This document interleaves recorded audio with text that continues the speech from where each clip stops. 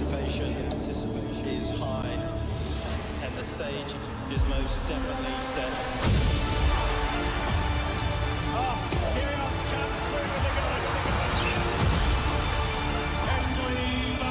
She carries the hopes of a nation tonight.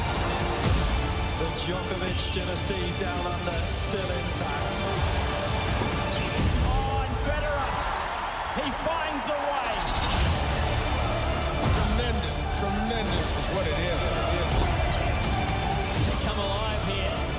A night to remember.